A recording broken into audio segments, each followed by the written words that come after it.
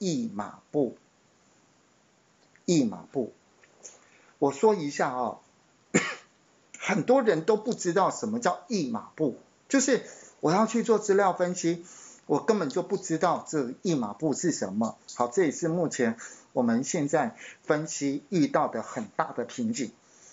呃，我先制作一下简单的一马步给各位参考。哦，对，那还不如说我先秀一下什么叫一马步。例例如，这是呃，这是我我举我我我在，因为我是在做研究嘛。好，我研究，我希望说我的资讯专才能够跟医生结合，然后未来呢，我们那个呃。解决一些人类的疾病，我现在研究的是脑中风，那我当然就给各位来去看一下这个脑中风的译码簿。其实译码簿好，它的英文叫 code book，C O D E B O O K。好，我们来看一下。首先你要有这个栏位的名称，还有。栏位它是什么类型？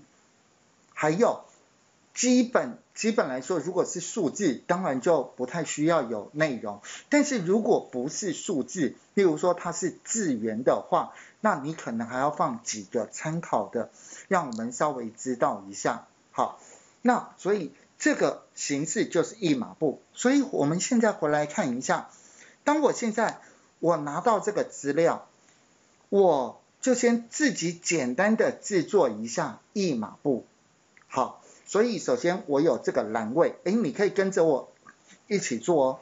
首先我有这个这个很多，就是我有这个标题列，标题列，然后接下来我就先复制它，复制，然后接下来呢选择性贴上，例如说我贴到这个地方好了，W 二。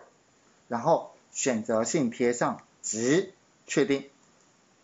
啊，对不起，我贴错了，贴成横的，所以我先还原一下，应该要 W 二这个滑鼠右键选择性贴上，然后请点直转至。好，那接下来请问，在这个地方，这些一直到这个行 ID。这个是应该叫做名称，好，这个可能就是我们讲的一个 item，就是第几项，好，项目好了，项目，然后第一项，第二项，对不起，把它改成是一般，好，然后请选到，选到这个，总共我有。二十个栏位名称，好，这我想应该大概知道。可是最重要的是类型，类型，因为你今天拿到数据，你是不是应该要稍微知道一下，说哦，我这个呃哪些资料类型是可以分析？好，这件事，那透过译码簿是可以让我们了解的。所以请问一下，这个。行 ID，对不起，我把稍微比例稍微放大，这样会大家看比较清楚一点。请问一下，我这个类型，这个类型行 ID 它是文字还是数字？好，那我现在要特别特别强调讲一下，这个是第一行、第二行、第三行的意思。可是它算是数字。但是没有人再去加什么第一行加第二行加第十行加第五十行，没有人这样子加，所以代表这个只是为了方便我们来去分别资料记录，所使用一个数值的编号，所以在这个地方它不是为了运算。